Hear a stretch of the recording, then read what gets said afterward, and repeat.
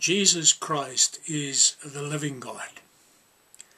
And he is ready to reveal himself to you as real if you just call on him, if you seek him. I have called on Jesus countless times in desperation, and he has always answered me.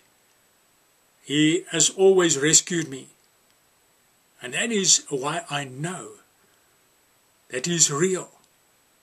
He is alive. And that He cares. It does not matter what your problem is. It does not matter where you've been, what you've done, what you've got yourself into Him. If you call on Him, He will answer you. He cares for you, dear friend. He loves you.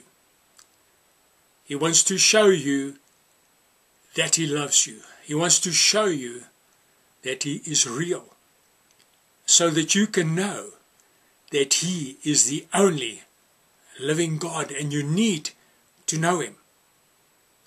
Jesus said, Seek first the kingdom of God and His righteousness, and all the other things will be added unto you.